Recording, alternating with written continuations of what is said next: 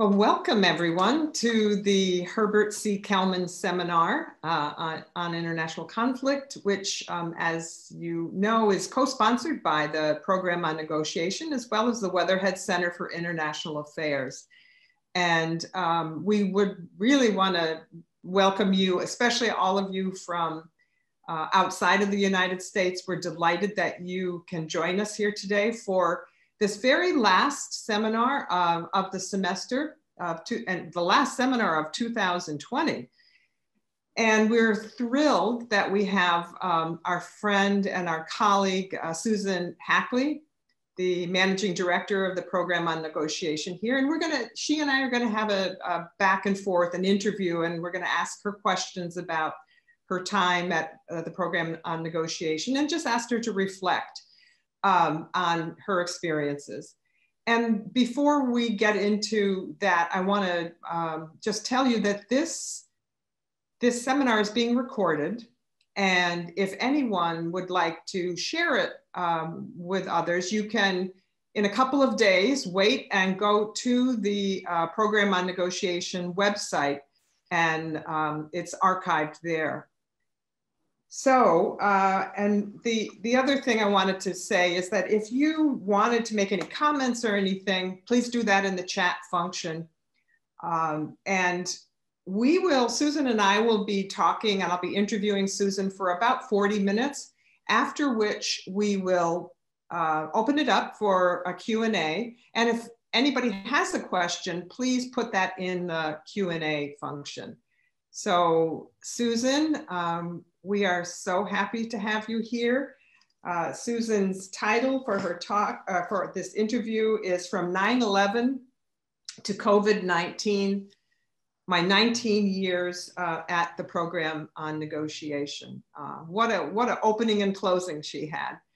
But you know, before uh, before I start interviewing Susan, I just want to say that um, we are we, uh, all of us who put this Kelman seminar together, including Professor Herbert Kelman, who's listening here today, we all want to thank you, Susan, for your incredible contributions to making this seminar um, not just good, but great. And we would not have been able to do it without you. And it's been 20 years since we've been doing this together. And Susan and her team have, which includes James Kerwin and Anna Chang and Diane Long, they have uh, really made an effort. And Susan is the one who, who led the whole, uh, that whole enterprise. So we thank you so very much. Herb Kelman thanks you so very much. He said, he told me uh, yesterday that he's valued your contribution enormously. And he has not just your contribution to the seminar, but he's valued your friendship. And he said, even though he's happy for you, he's going to miss you. So, um, without further ado, I want to also, before we go into the questions, I wanted to read a couple of um, a couple of comments that people at PON had. I'm only going to read two. There were so many people who wanted to say something about Susan, uh, but I, I, I wanted to pick a couple because it really does set the stage for who Susan is in relation to program on negotiation and how she's valued and how she's loved by and beloved by everyone there. I think I can speak for everyone at PON. They are they're so proud of her and so happy that she made the contribution that she did.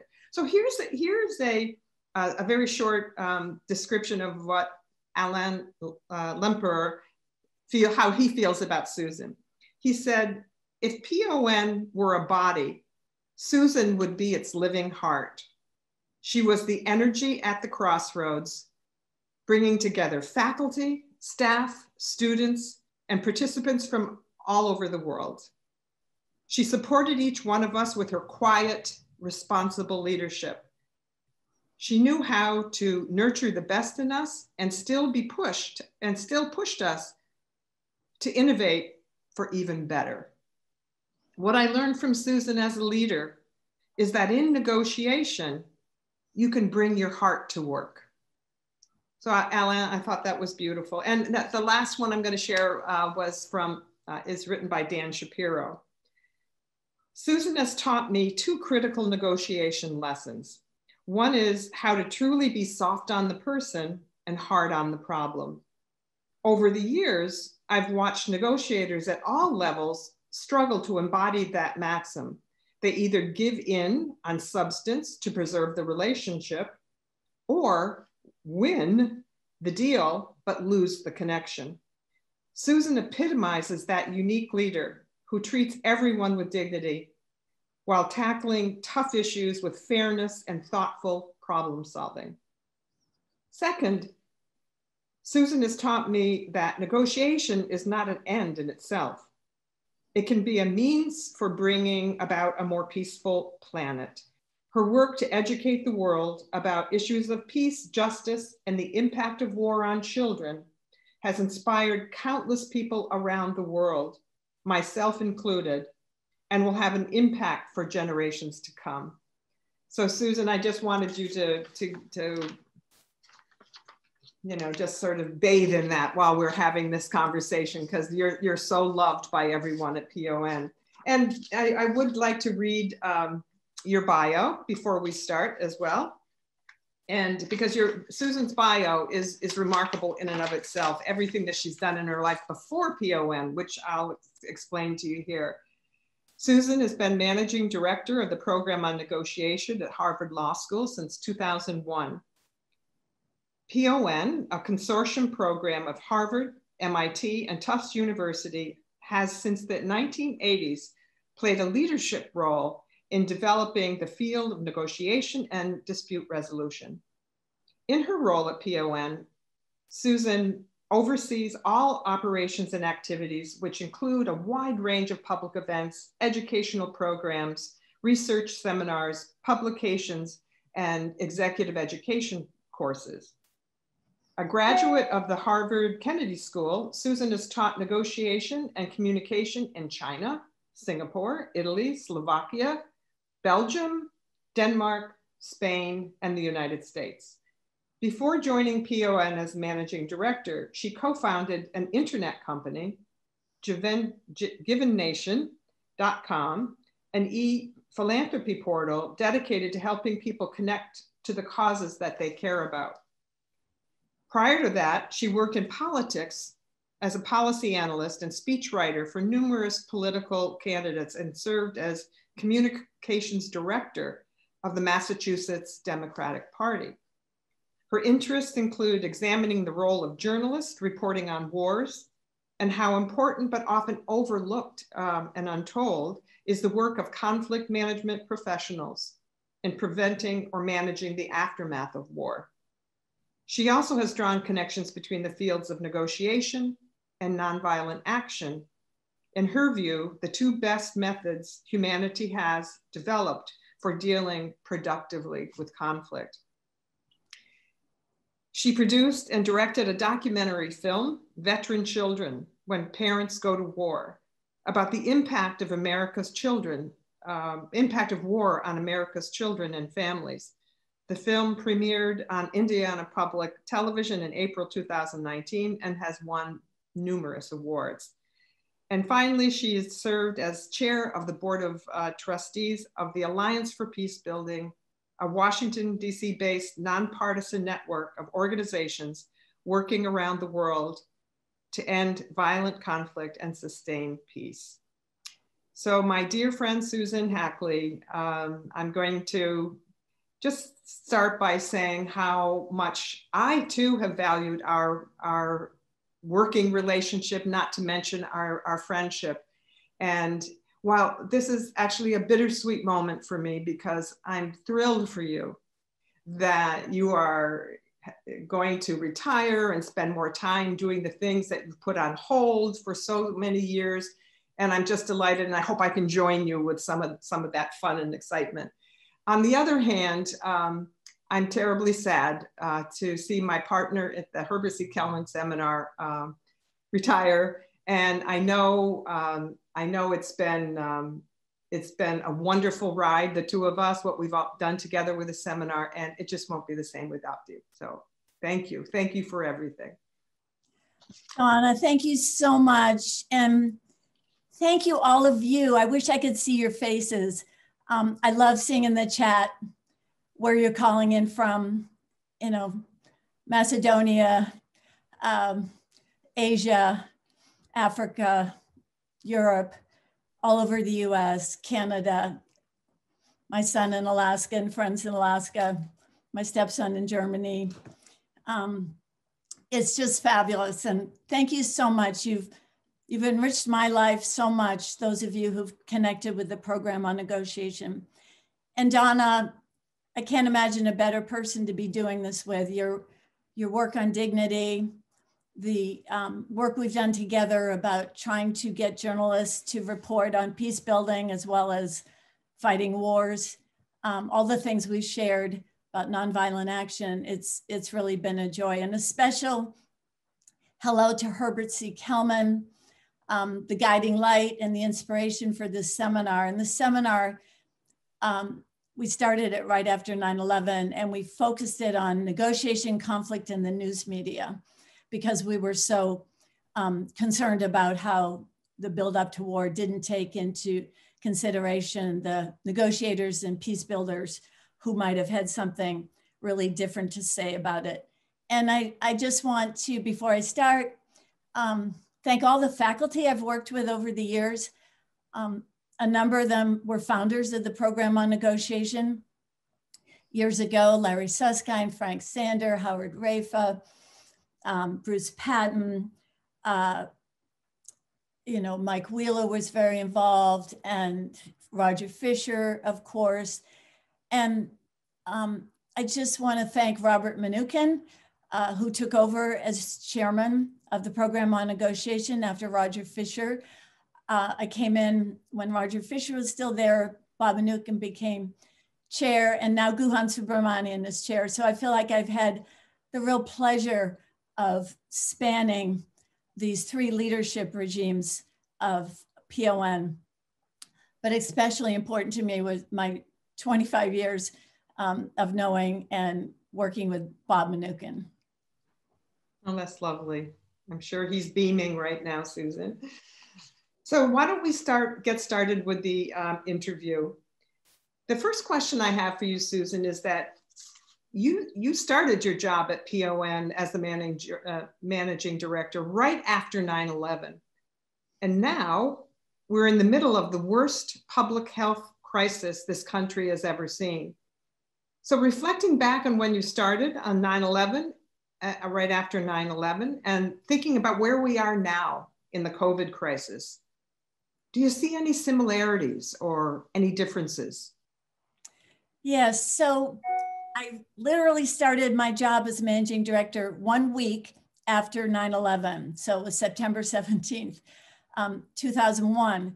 And I felt, of course, so horrified by what had happened also so grateful that here I was in a job working with people who are committed to helping people bridge differences, solve problems, deal with conflict. So I've always felt so blessed to be in this field. And part of what I want to do today is encourage everyone to be a peace builder. And I thought from day one that uh, if the program on negotiation could help people around the world become peace builders in their own communities. That should be part of our mission. So 9 11 happened. And one of the first things we worked on was putting together a public event at Harvard Law School with Bob Mnookin and Roger Fisher about do you negotiate with terrorists? Uh, it was an important question then, politically, um, ethically, morally, all the different ways we had to look at it. And there are arguments um, for and against. So now with the pandemic, which we see people around the world suffering horrifically, and we don't even yet know how long this will take or will another pandemic happen. But certainly in our country, we're seeing a, a huge disconnect uh, among people who want to take certain measures to reduce the incidence of the coronavirus and others who have ideas about herd immunity or not getting a vaccine or this and that. So it feels that the work we all do is more important than ever mm-hmm. as we really basically try to help people bridge their divides, find some common ground. And common ground with the pandemic should at the least be we don't want overcrowded hospitals. We don't want our health workers getting sick. We don't want people in nursing homes and elderly getting sick. So we should be able to find common ground and work on that. Well, I hope you're right, Susan. Um, I think it's going to take some um, some really uh, clever and creative ways to bridge those divides. And uh, I know I know many many people in our field are, are working on that. So you're right. This is this is this is part of our job and our responsibility to try to help bridge that. And the next thing I wanted to, to um, ask you to reflect on is that uh, PON uh, started with a seminal book by Roger Fisher and Bill Ury, Getting to Yes. Have you seen the message of that brilliant book? Have you seen that message evolve over the years? And if so, tell us about that. So, Howard Raiffa, one of the founders of the program on negotiation, said, It's a great way to launch a field with a bestseller. And Getting to Yes was really, still is a bestseller. Uh, it's been translated into languages around the world. It gives simple but not simplistic advice about how to deal with conflict. And I think it's held up so well over the years. Um, and it's inspired many scholars to build on those ideas, separate the people from the problem, um, go to the balcony as one of PON's other founders, Bill Ury, um, so memorably said, uh, separate interests from, from um, options, uh, look for your best alternative, all these different things. And we need to remember that negotiation is really a fairly new field. It was basically um, turbocharged in the 80s, and that it the, the monumental change or the revolution that happened then was the old way was you had to be a hard bargainer and you had to um, know how to bluff, maybe mislead, maybe even lie, be tough, deliver ultimatums. And Roger Fisher, Bill Ury, and, and Bruce Patton said, no, there's another way that will work better if you look at both sides and how they both sides can do better, um, which often leads to more sustainable agreements. And uh, it was really a, a revolutionary idea in its time. So I think it's evolved in that there are many sophisticated scholarly um, jumping off points from that. There's a lot done now with neurology and behavioral science and economics and uh, implicit bias and lots of things that uh, were inspired, I think, by looking at this. Uh, how do you think about yourself, your self awareness? So I do think it can, continues to evolve. I also think Getting to Yes holds up very well. certainly has. And um, I wanted to, um, to ask you um, about, well, as a postdoctoral fellow, I came to Harvard 30 years ago to work with Professor Herbert Kelman. And what I remember, um, in addition to all my excitement about working with Professor Kelman, was how, how much uh, uh, excitement there was surrounding the getting to yes approach to negotiation, the principled negotiation approach. It was revolutionary at the time. And it was truly a sensation. There was such a buzz and people were coming to executive programs from all over the world. And you've done many of those programs, e even recently. Do you still see the same excitement? I really do. I think people can take a negotiation program and it often just transforms their lives. It's amazing. Um, these basic ideas that um, you should express empathy with the other person. You should listen to learn. Active listening is, is a core part of it. There's a framework that um, you can use to prepare for and conduct negotiations. Uh, Roger Fisher had the seven elements. Bob Mnookin has a wonderful framework of the three tensions. um, and, and introduced the idea of um, looking how the interests of principals and agents can differ. Um, I, I remember going um, several times to China uh, with Bob Mnookin first and then on my own to give trainings uh, on negotiation on behalf of the program on negotiation. And one of the first times we did it was with a group, the Hong Kong Railway. And we thought, wow, are they going to open up at all? Uh, we had our cultural stereotypes, all this talk about empathy and sharing your feelings and dealing with emotion. How is that going to go? And at, partway through the first day with the Hong Kong Railway, one of the participants, a very elegant um, man from Hong Kong, took me aside and he said, I could leave this seminar right now and I would have gotten something so amazing from it. He said, I now know how I want to communicate with my wife. so there are lots of moments like that because negotiation helps us with our personal relationships. Um, my daughter, I hear lots of things she says about negotiating coming right back at me. And I think our families, our friends, these are just great skills for everybody. I also want to just briefly say I've worked for about 15 years with a wonderful group called Women to Women, and they offer trainings uh, to young women, 18, 20 year olds, uh, many from the Middle East, and I'll give them a negotiation training uh, once a year, sometimes twice a year. And in an hour, I can really persuade these amazing young women who will be leaders how important negotiating will be to them so that their voices will be heard in discussions. So they'll have a place at the table where decisions are being made. And so I would say it's absolutely transformative negotiation trainings. Um, and some of the programs are long, but even in an hour, I think it really can change people's lives. Susan, where else did you do the women to women um, training? Well, we did a, a, training this summer from Bahrain uh, with a wonderful group. Everything's virtual now, but that's worked well too because uh, the communication is good through chat.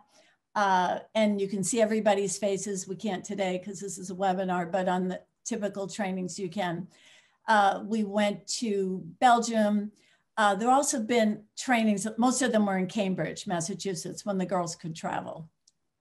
And so, our, well, I, am just fascinated by this. I didn't really know about this project. So, is this mostly um, women who are looking to become leaders?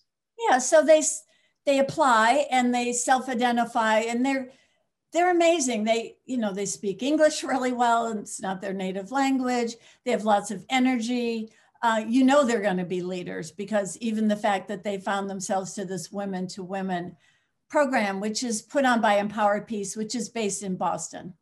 Oh, great. That sounds wonderful.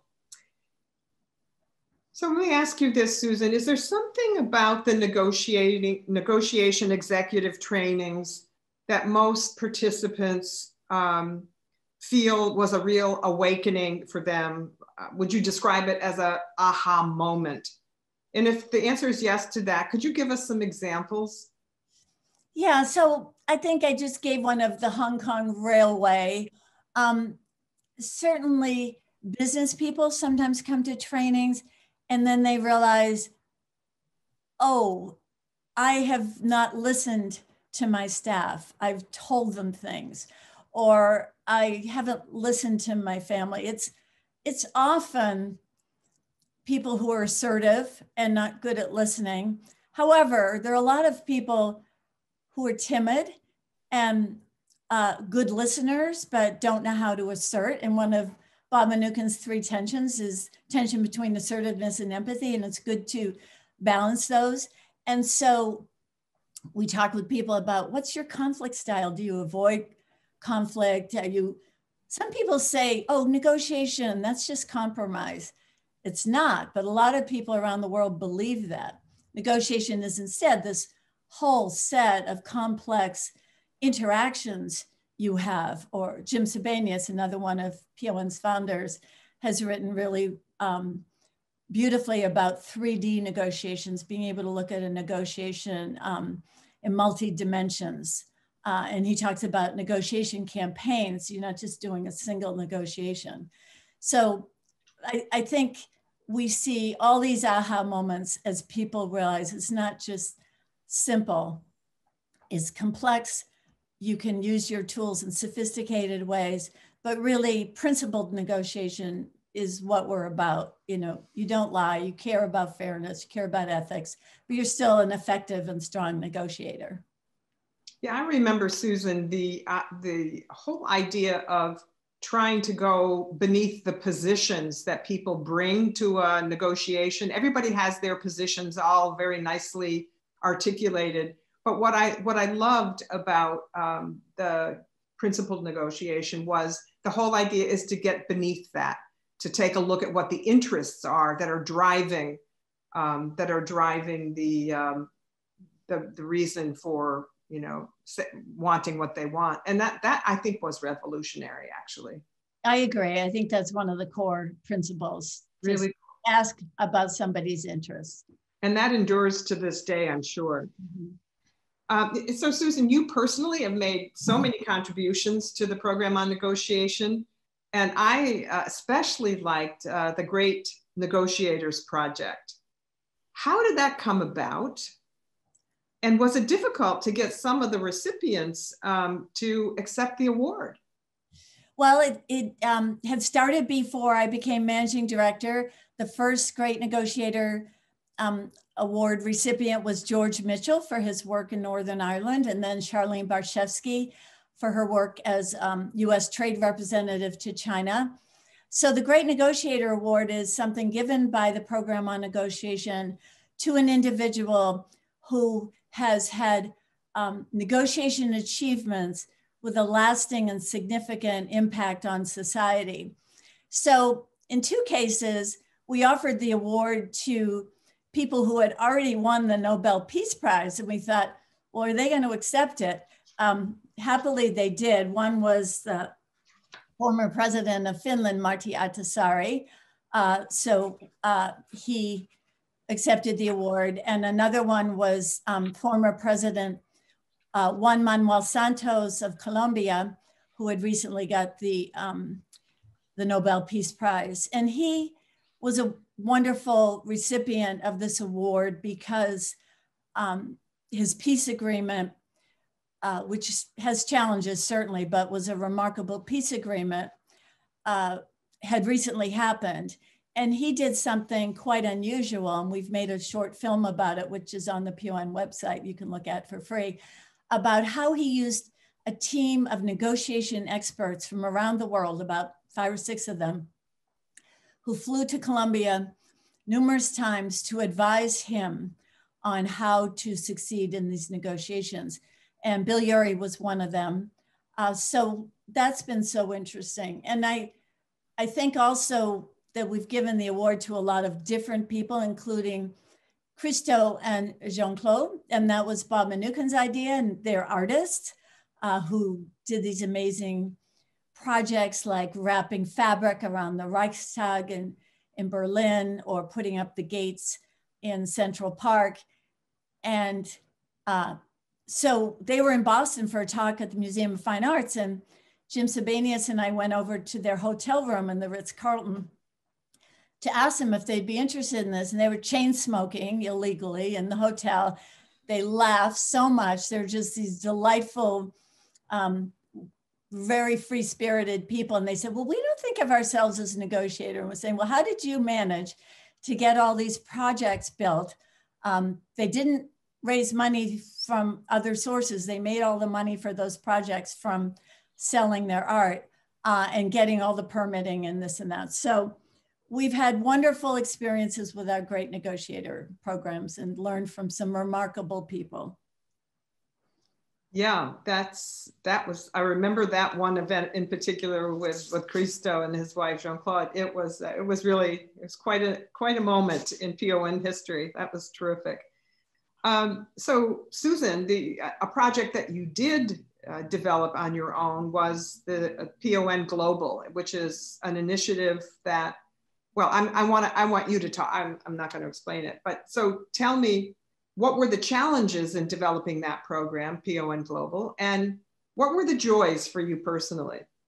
Well, I really love the PON Global project. So about five and a half years ago, uh, Bob Mnookin, Guhan Subramanian, and I met to think about how we could respond to the many requests PON would get to put on executive education programs in other countries. We put on a lot of programs pre-pandemic in Cambridge, Massachusetts, but not everyone can travel to Cambridge. So how could we go abroad and do it, but not have our senior faculty have to jump on a plane and take the time to do that? Um, and so we, we created the idea of PON Global. It was very unusual, uh, really the first kind of program at Harvard where we would go and form partnerships with entities in other countries and they would be responsible for enrolling the people, setting up the room and the space, and we would bring instructors. And we also created hours of very high quality teaching videos to go along with the um, in-person instruction. So the first one we did about five years ago was in Tokyo. Uh, then we did the next one in Tel Aviv. And I was going over to Tel Aviv and um, I'd had an inquiry from some people in Saudi Arabia. And I thought, well, I'll stop by and see if they'd be viable partners. So after going to Israel, I flew to Jordan, then I flew to Jeddah, Saudi Arabia, and, and they were amazed that a woman alone, I had my burqa, uh, that I got on the way to the airport in Boston um, would come alone and uh, meet with them. Uh, but I liked I liked them. I liked what we learned, and we had a very successful partnership for many years with them. So we've had PON Global now in 15 countries: um, Hong Kong, South America, Mexico, Europe. Um, Middle East. So it's wonderful. And now it's all virtual we had our first PON Global virtual course, and then we had people from all over the world. So we're offering that again in February and March. Um, so it's wonderful. And I'm hoping someday we do a version of it for people in the nonprofit world who can't afford to, to take a course. Uh, but we offer some virtual version of it um, for all, all kinds of people. So do you think it'll it remain virtual for the most part? Yeah, I think we'll do both. We can't wait to get back yeah. um, and be with our partners in our countries. The last one we had was um, in Milan. Uh, we had one scheduled in February for Beirut. Uh, it it couldn't happen. We just had to cancel it. We had several. So we we very much want to get back to that because then we learn from them. We learn from the people. But I think maybe we'll do both virtual and uh, in person. Yeah, well, what a contribution. It, it just gives people who wouldn't otherwise be able to travel to Cambridge, an opportunity to um, to take advantage of the of the teachings and the and the powerful trainings that you do. So that's that was must feel very gratifying knowing that you're leaving that one behind. So mm-hmm. successful, such a successful project. Well, here here is my favorite um, of the work that you've done. Not, I mean, so many things, but your documentary film veteran children when parents go to war. It really is one of my personal favorites. And I'm just curious. I know there are many influences that you know provoked you to do this kind of documentary film, but was there something about your years at the program on negotiation that also contributed to your desire to create this beautiful film? Thank you, Donna. Um, so I made this film as a half hour documentary film and finished it in 2019. And we've shown at the US Institute of Peace and many other places. I was deeply inspired by the buildup um, to the war in Iraq and how marginalized I felt our peace building community was in that in that discussion. And also my son, Zach, uh, had joined the US Marine Corps before 9 11, so no thought that we'd be at war, at least as his mother. Uh, then 9 11 happens, uh, the Afghanistan war, which he wasn't in, but um, he was, I knew he'd be headed.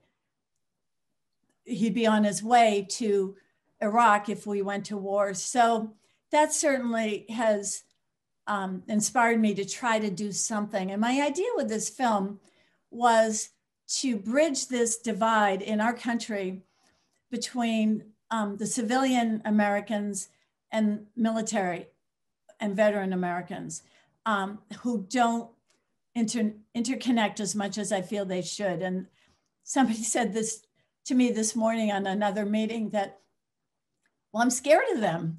And because, you know, they're soldiers and they've got all that stuff. I said, yeah, well, we've got to, we've got to, you know, they're our sons and fathers and daughters. And so that really inspired me. And um, there's this quotation um, that Seth Moulton, Congressman Seth Moulton, read at an event we had Donna, you and I, uh, and Herb at the Kelman Sen seminar when I showed an early part of my film.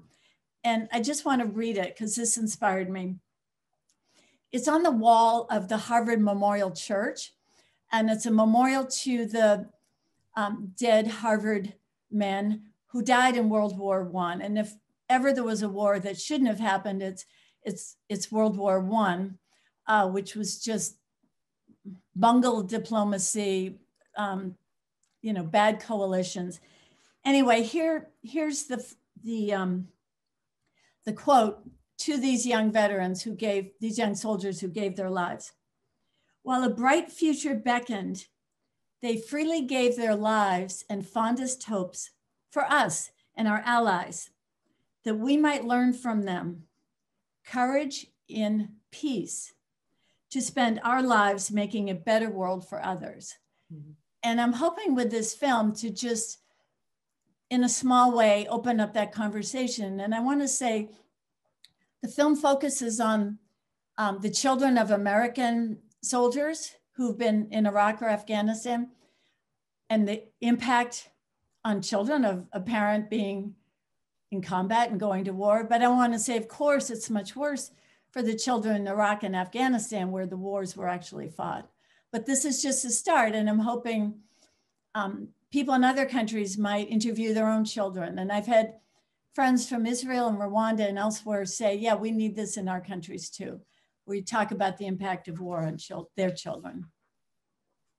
Well, I, I think uh, that Diane is uh, putting up a link to that uh, in, in the chat uh, function. So I hope people watch it. Be, be prepared to be extremely moved by this. It's, it's a beautiful, touching, um, and you know, timely, really certainly timely uh, film. All right, Susan, one last question before we open it up to our audience for a Q&A. And you have talked a lot about how the field has changed. What do you see for the future? So I think the um, negotiation is all about problem solving, and we see lots of problems in the world. And I think we're seeing more and more scholars and practitioners and citizens use these tools. Um, we see more of it in the schools, uh, but we should it should be part of our learning. Uh, how do you deal with bullies? How do you deal with um, poor relationships? Um, how do you deal with your emotions? Dan Shapiro's done such important work about your, you're going to have your emotions. You can't just stuff them in a box. And people you're negotiating with have their emotions. How do you deal with it? Um, I think journalists need to be more a part of this conversation. How do we report on conflict? It's not just who wins or loses a war and that's the end of it. It's um, how, what about the wars that are prevented? Uh, we're going to see a lot of unrest with climate change. And I think um, those of us in negotiation, peace building community, community should be part of that. Um, basically, at PON and many of us on this call, we believe in the power of negotiation to change your lives and change the world. They're just great skills that if we deploy, they're easy to talk about, but hard to deploy.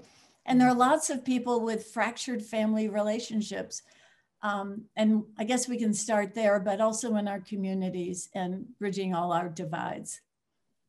Yes, well, that is certainly needed right now, given the political culture that we've uh, we've been experiencing for the last, you know, the talk about the disconnection and the and the divides. I think we need we need some good negotiating skills to get us through that, and I'm sure I'm sure the principled negotiation approach could be extremely helpful.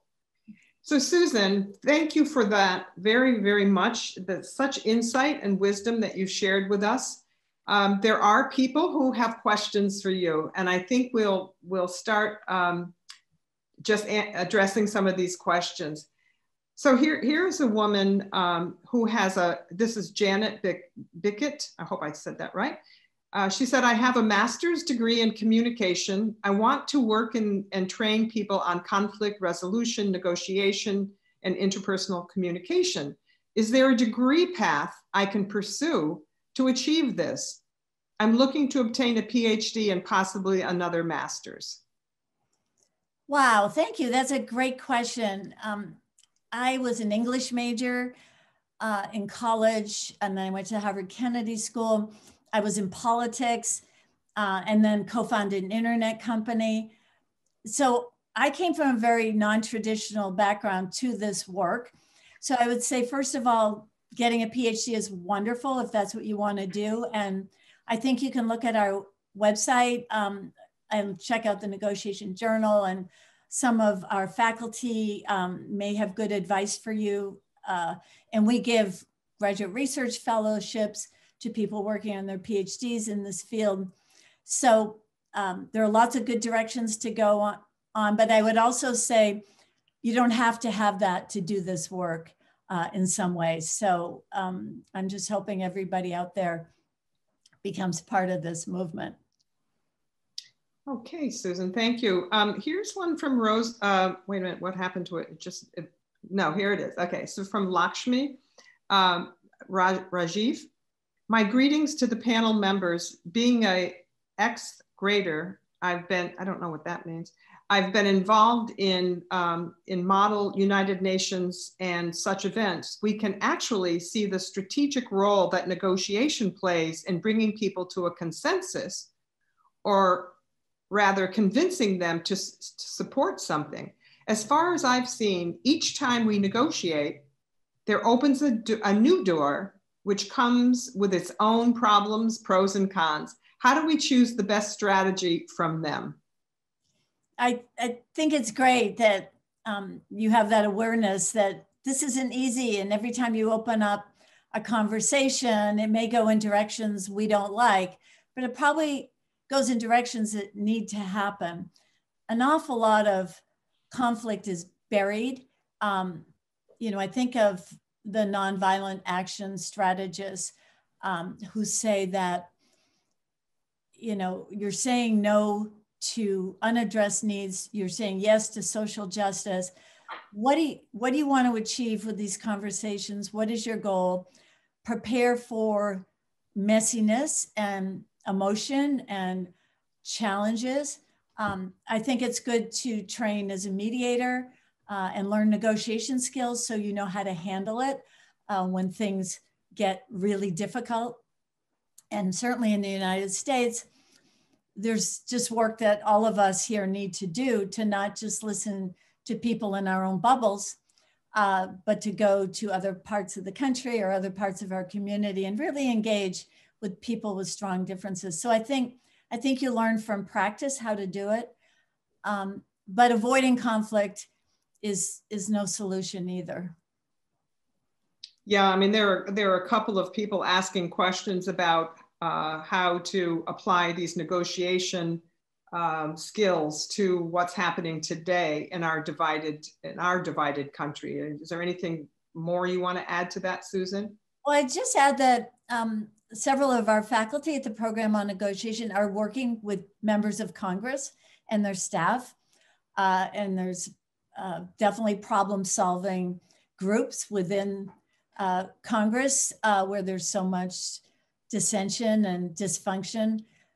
So I think it's just rolling up our sleeves and, and doing the hard work. I, I don't want to forget to mention um, just how there's some of these unusual, non-traditional ways of helping deal with conflict. And so I want to mention the Abraham Path Initiative, uh, which is which is unusual, and it's a um, a cultural historical walking trail through the Middle East.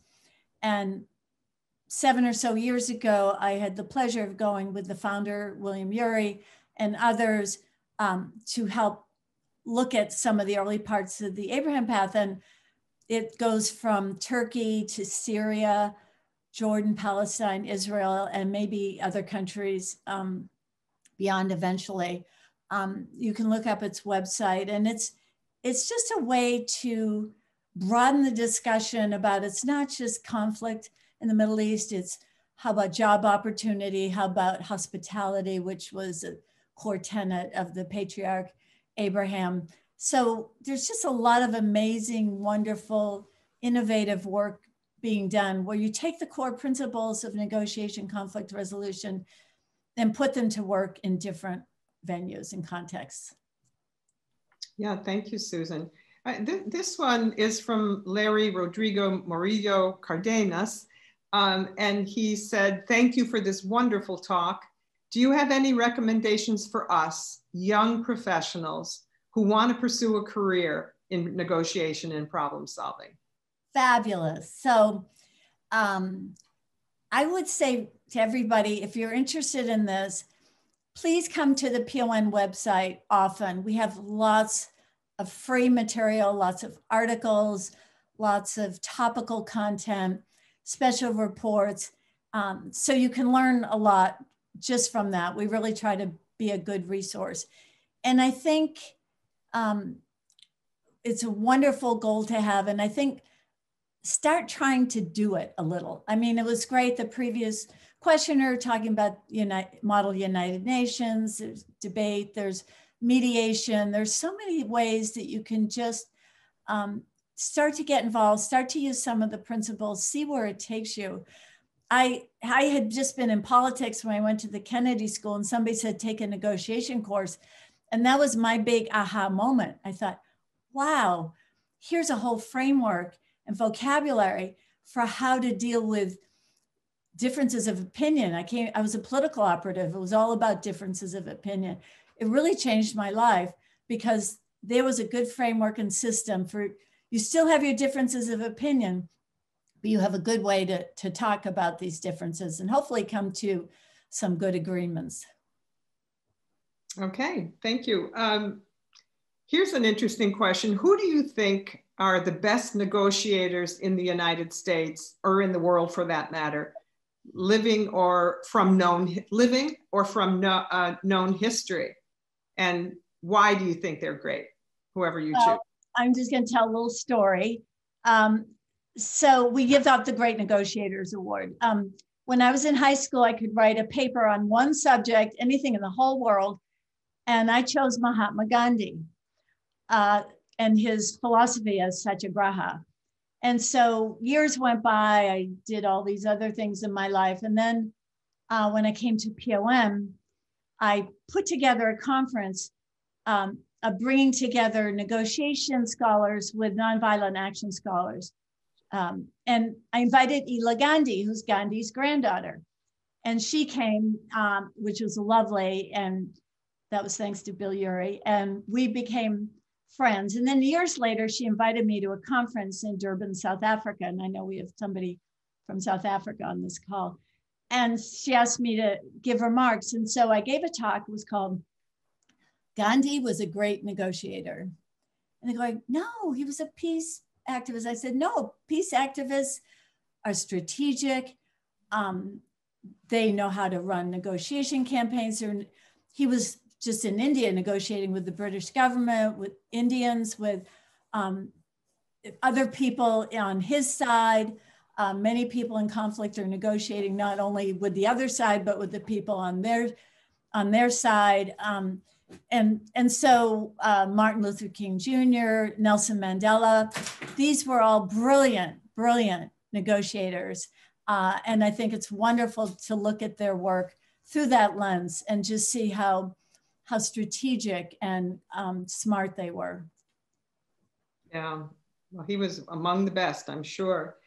Uh, so I, there is a question, uh, what I think is a fascinating question. Susan, is there uh, a next documentary that you want to do, you want to make? Uh, that's, it's really hard to make a documentary. I have to say, it started with a Kickstarter campaign.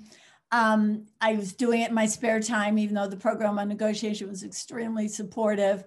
Um, it's really hard, but it's a great thing to do. And I think short documentaries are powerful because people have so much video content they can can watch. And so one of the things I'm looking forward to doing in um, when I'm finished with my um, managing director's job at the program on negotiation is really uh, reaching out to other people uh, in countries who've expressed an interest in doing something that shows the impact of conflict in their countries on children. I felt that with um, all the talk in our country about Iraq and Afghanistan, there was real war talk fatigue. I mean, those wars have been going on for, you know, a couple of decades. And I felt like, but people will listen to children. In the same way with Greta Thunberg and climate change, I feel like children, if we film them talking, uh, can really talk in ways that um, the adults who, who make a lot of decisions that impact them and their futures will listen. Yes, thank you, Susan. So here, here's an interesting question. Do you see a risk of focusing so much in recent years on the brain structure and connections, that, that is neuroscience, to explain our social interactions and psychological states, uh, considering how complex human interactions are. It may be too reductionist to address hidden social psychological processes we must understand more and learn more about. Yeah, it's a great question. I was on the PON website site this morning and I typed in neurology to see what popped up. And there were some articles um, that I invite you to look at. Um, and, you know, I think there's both um, illumination that comes from realizing how our brain operates, and yet you don't want to take it too far or make too many assumptions. And I'm not an expert who should be talking about that. Uh, what I do think has been helpful is the psychological work that's been done um, in a lot of different venues. And again, look on our, on our website. Um, but for example, the work Jared Curhan at MIT is doing about measuring not only the objective value of how you did in a negotiation, but the subject, the subjective value. How do you feel you were treated? How, how was the experience for you? And, and calibrating that that's actually quite important. It's not just the um, objective outcomes. And I think we've all seen a lot of negotiated agreements that fall apart uh, because people weren't looking ahead to how to implement it. Is it sustainable? Do people really buy into this agreement or they just want to get back home at the end of the day? Or so there's just a lot of work being done on that. And um, again, I invite you to look on our website. And also um, our negotiation journal uh, is a quarterly publication and it has a lot of wonderful interdisciplinary articles on the latest research in negotiation. Oh, good. That, that will be helpful. So Susan, here's another question. Do you see negotiation merely as a tool to solve problems how about facing human relatedness in differently, more dignity based, equality based ways? Yes, absolutely. I think it's the the person to person negotiations, but I also wonder what is meant by human relatedness. And Donna, I'm going to invite you to jump in because as most of you, I hope know, Donna has written two amazing books mm -hmm. about the importance of dignity in how we deal with conflict. And that if you don't acknowledge and protect someone's dignity, problems don't go away. And again, that's another reason why negotiations aren't sustainable. Negotiated agreements sometimes aren't sustainable. well, one of the things, Susan, that I learned from uh, our beloved uh, Professor Herbert Kelman is that um, there are layers, layers of uh, levels of conflict. And of course, I think the major contribution that, the, that Roger Fisher and um, his co-authors made was to get us to, as I said, to look below positions and look at interests. And Herb Kelman invited us to take, go even deeper and look at what he called the basic human needs. And I think these under these deeper levels, and they tend to be more psychological, they tend to be, you know, less concrete. And this is why they're almost difficult to, to even surface at times. I mean, Dan Shapiro has done a wonderful job with, with this emotional level. And I think, you know, these, these um, ways of understanding what creates conflict to begin with, you know, is I think that's the contribution that the more dignity-based um, questioning uh, gets at. But I, in terms of equality, I think uh, it also shows how when people experience gross violations of injustice, uh, especially over time and systemically, how how much that contributes to difficulties in negotiating. I mean, look what's happening to us right here in this country. So I definitely think that um, all of these approaches that we're talking about, the principled negotiation, Herb's interactive problem solving, my dignity, all of this stuff is just, you know, different entry points into the same problem. And, you know, just depends on what people are, are interested in, Susan.